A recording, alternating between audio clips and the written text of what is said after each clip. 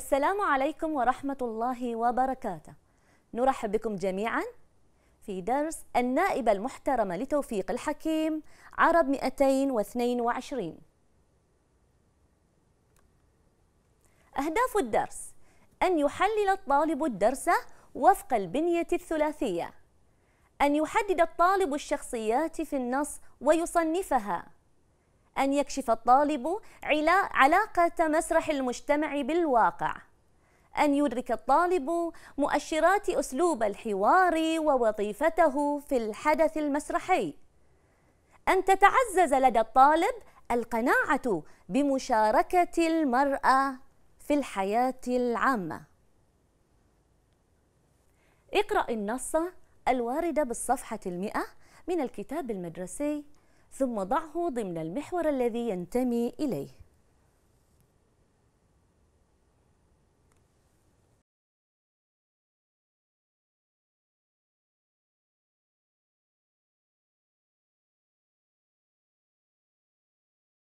ما الجنس الأدبي للنص وما نمط الكتابة فيه؟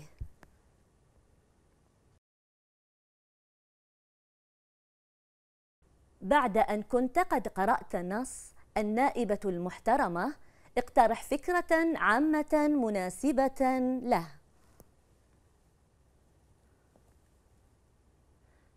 المرأة بين واجباتها الأسرية ومسؤولياتها في المجتمع. طبعا تقبل كل الاقتراحات الأخرى المناسبة.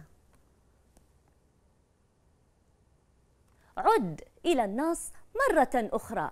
وحاول تقسيمه إلى مقاطع ثم عنونها.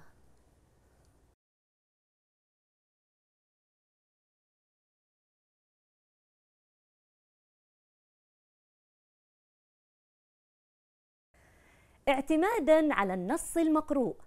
حاول تعرف معاني الكلمات الآتية بحسب سياقها فيه.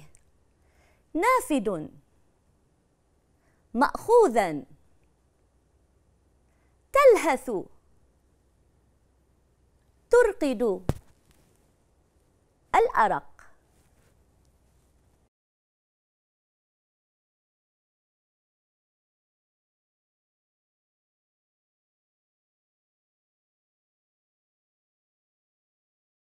المقطع الأول.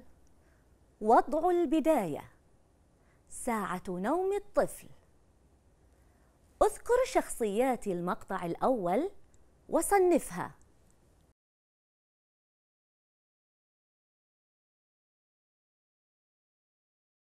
شخصية الأب شخصية أساسية الطفل أيضا أما شخصية الأم شخصية خلفية ما أنماط الكتابة التي تظهر في المقطع الأول؟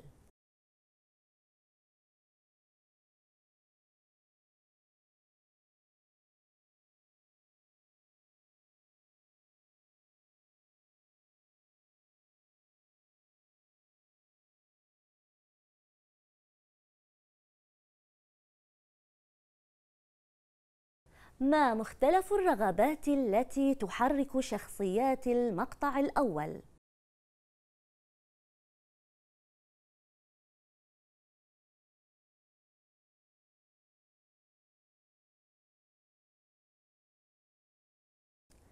نشاط تطبيقي جزئي. واحد السؤال الأول. في المقطع الأول شخصيتان أساسيتان حددهما. أما السؤال الثاني تحرك الشخصيتين الأساسيتين رغبات متعارضة. وضح ذلك.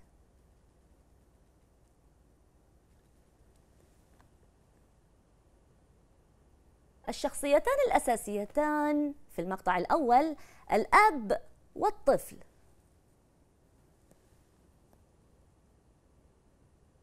أما رغبة الأب إنجاز العمل ودراسة الأوراق. رغبة الطفل النوم.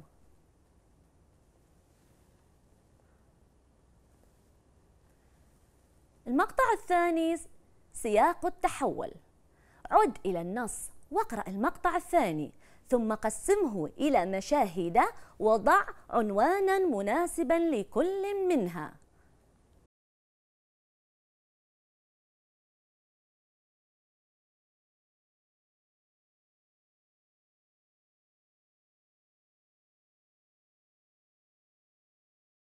تتنوع شخصيات هذا المقطع الثاني بدخول شخصية جديدة. اذكرها وباقي الشخصيات. إذا شخصية الأم الأب والطفل والخادم. ما أساليب الخطاب المهيمنة على هذا المقطع الثاني؟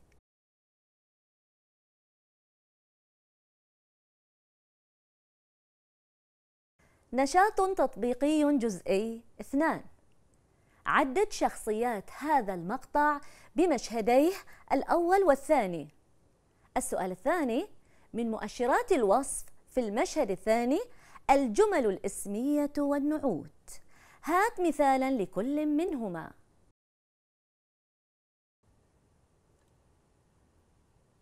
الشخصيات هي الأم الأب الطفل والخادم. الجمل الإسمية تتمثل في وهي تلهث. أما النعوت تتمثل في حكاية بايخة. المقطع الثالث وضع الختام. موعد لقاء النائبة بمعالي الوزير.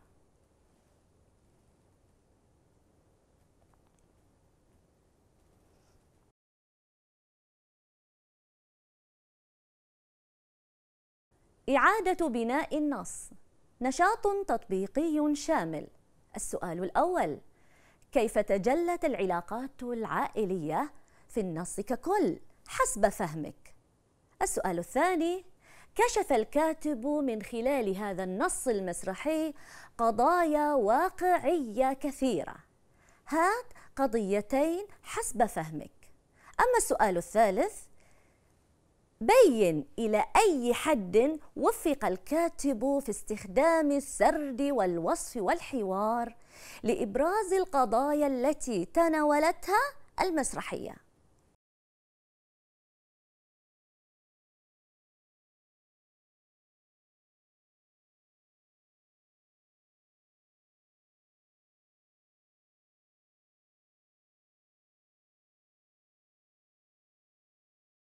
أشكركم على تفاعلكم وإلى اللقاء في درس آخر والسلام عليكم ورحمة الله وبركاته.